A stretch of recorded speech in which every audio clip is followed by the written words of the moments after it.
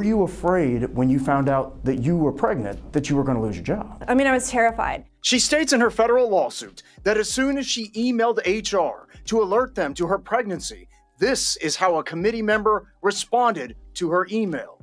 It's classless. She says the company almost immediately terminated her insurance. It's like leaving the cult. You just described it as a cult. I'm not a cult expert. I would actually be very interested in somebody who is more of an expert on cults or high control groups to get their opinion. O'Connor is now suing. Federal law forbids discrimination based on pregnancy. I knew that I was basically going to be taking on these bullies. All right, O'Connor says she was offered a non disclosure agreement and a financial payout, but she declined both. Over the last couple years, I've made a few videos on Dave Ramsey and his company, and I think it's safe to say at this point that we disagree on at least a few things. A couple of them being his anti remote work policy. You got to go in and work. He doesn't like remote work. And I want to work from home where I don't really work. But I'm at home and I still collect a check. People that are remote workers. I mean, they have really jumped into the whole sweatsuits and Rocky Road ice cream. The worker is now demanding that they work from home. Yeah, well, those people are going to lose. Another one being his anti overemployment opinion, where he said if you're working more than one job at the same time, you're a thief. By the way, I've got three of those work at home jobs now, which means I'm now stealing officially from that employer. That's called stealing, okay? That's a lack of integrity, to say the least. You're a thief. And you're supposed to be giving full time effort, and your company thinks you are, and you're knocking down another full time job, and neither company knows about it. So that's dishonorable.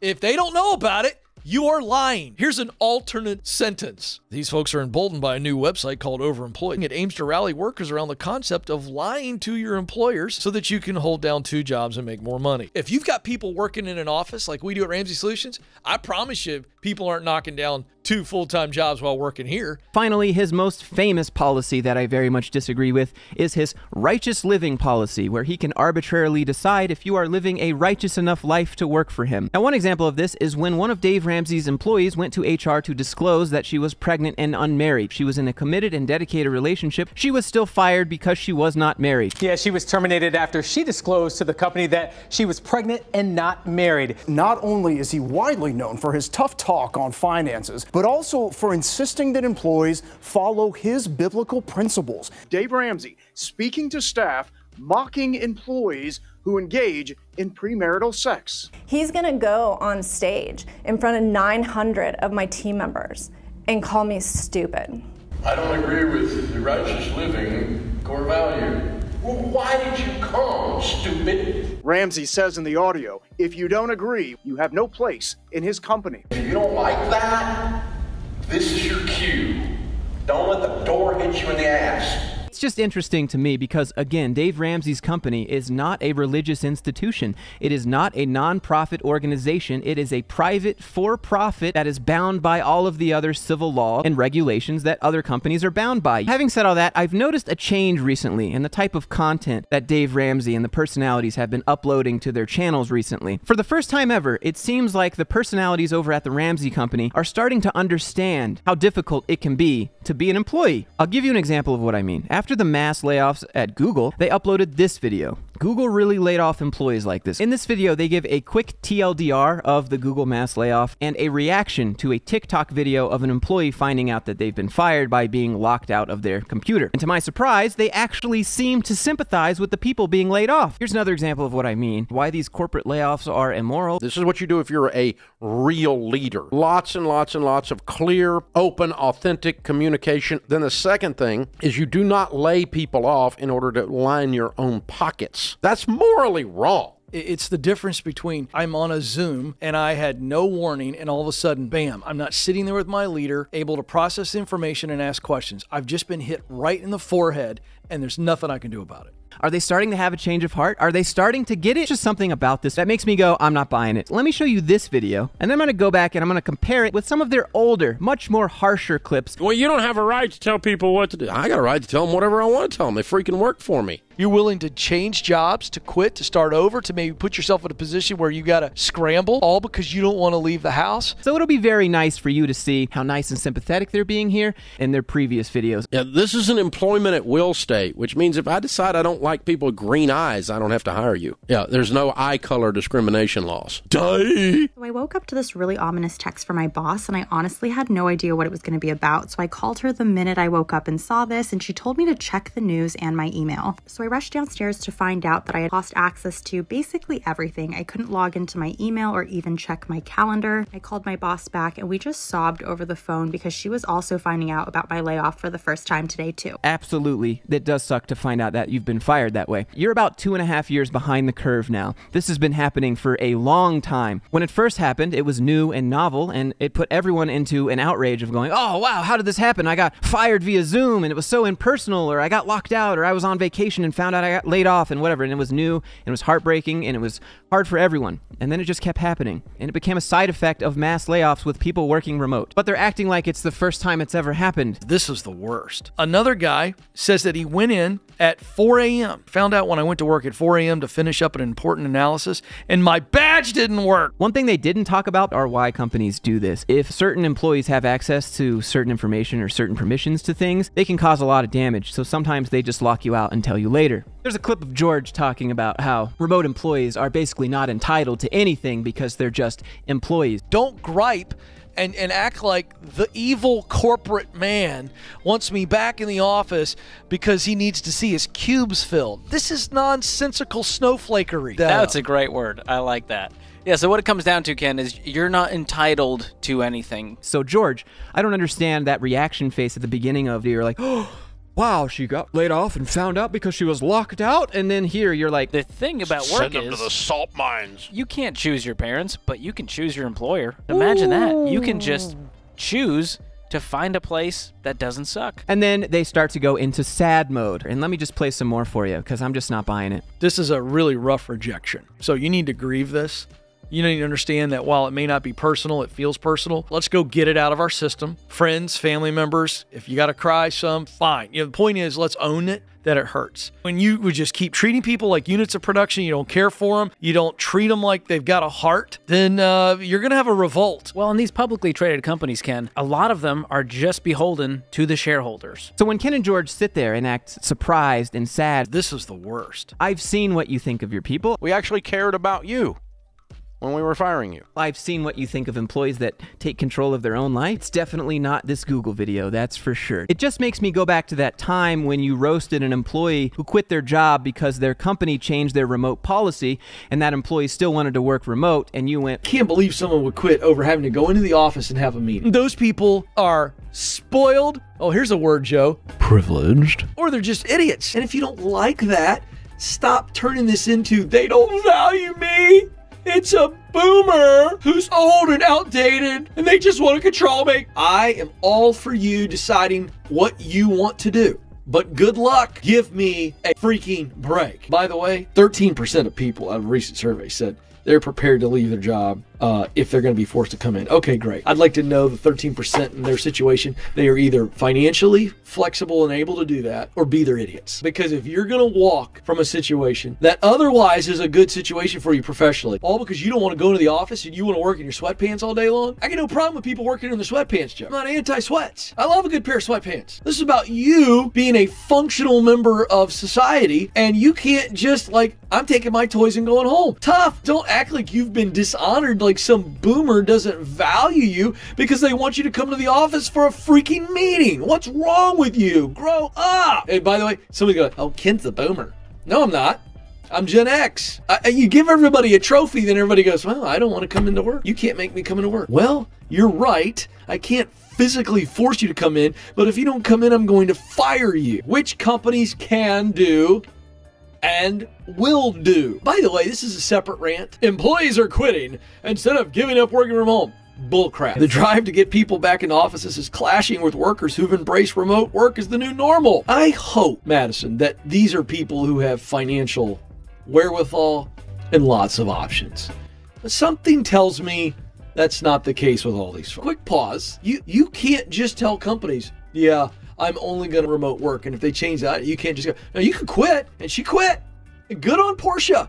Good for her. She quit. But if this is some of you that are watching this and you go, I really liked working from home. I want to work from home. And I don't like it when they make me come into meetings. Let me tell you something. This is an attitude issue. Listen to this. There's the notion that some bosses, particularly those of a generation less familiar with remote work, that's a nice way of saying older people, are eager to retain tight control of their minions. Listen to what she says. They feel like we're not working if they can't see us. It's a boomer power play. It's a boomer power play. This is what irritated me.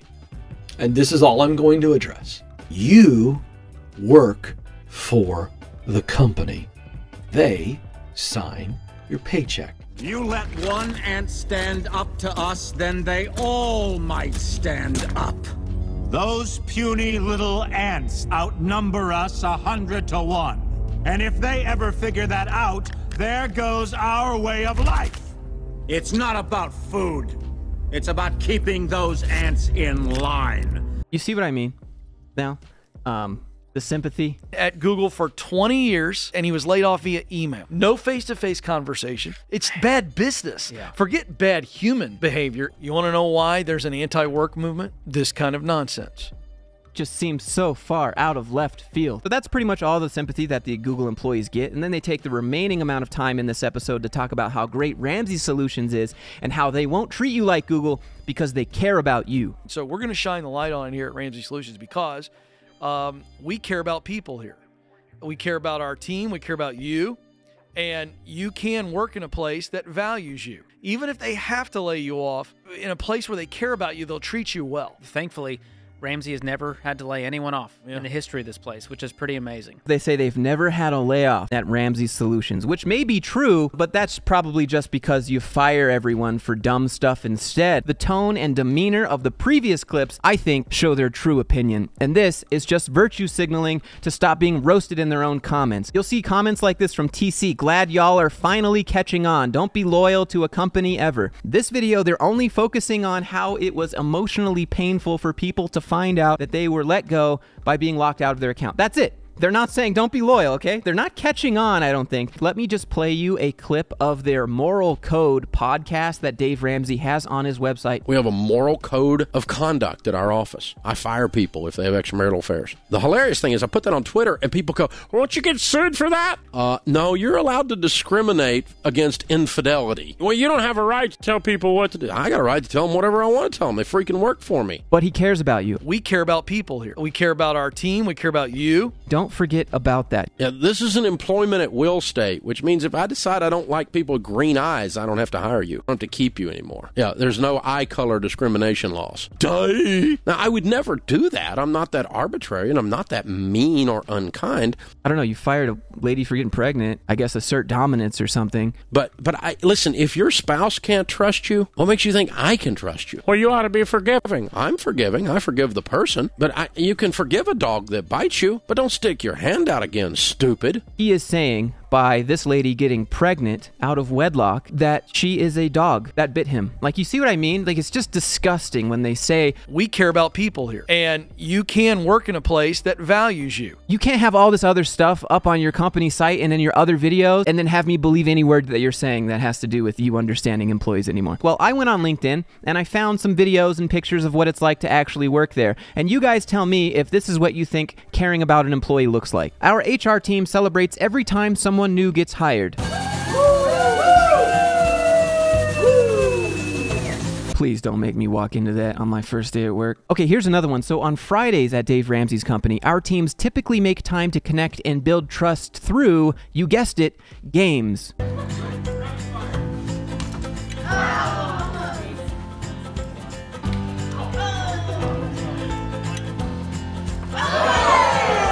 What a great way to waste everyone's Friday afternoon. I'm sure all of these people in this office wish they could just go home early instead, but no, we have to flick this paper trash. And by doing this, I feel so much more connected to my employees and coworkers and bosses. Another thing they have at the Ramsey Solutions Company is a thing called Team Time.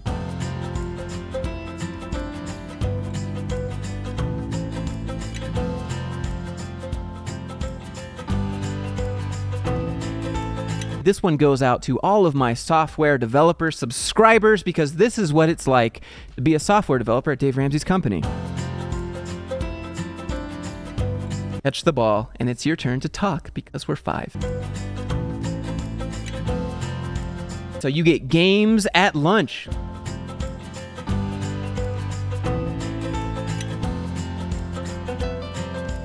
I, no thanks. I'd rather leave the office. If I have to be in an office, at least let me leave other than the time I get to leave for the day. But no, you can stay inside and play games at lunch. Meetings that are actually productive.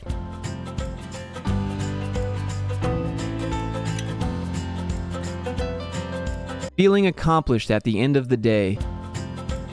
I mean, as long as you don't get pregnant out of wedlock, I mean, you, you should be good, right?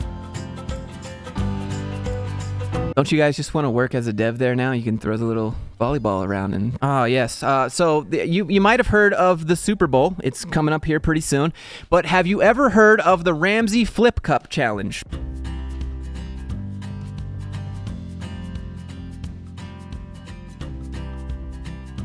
Oh, here's another one they brag about. How does hot chicken and video games sound for a team lunch? There was no work agenda. Like, this is why you leave the office to get away from that garbage. When your team works really freaking hard, it's a joy to celebrate them. So you give them Spicy chicken. Oh, they get to play what looks to be Mario Kart. Only rated G, family friendly games at the Ramsey office for us. None of that Elden Ring or any of that mature, sinful stuff, okay? This is what gets me. Some HR person got to business expense money to buy this stupid little decoration just so that they could put it on LinkedIn and brag about it like they think this is something that software developers and people actually want. Oh, yes. And last but not least, I found a little TikTok of Ken Coleman clicking his heels together.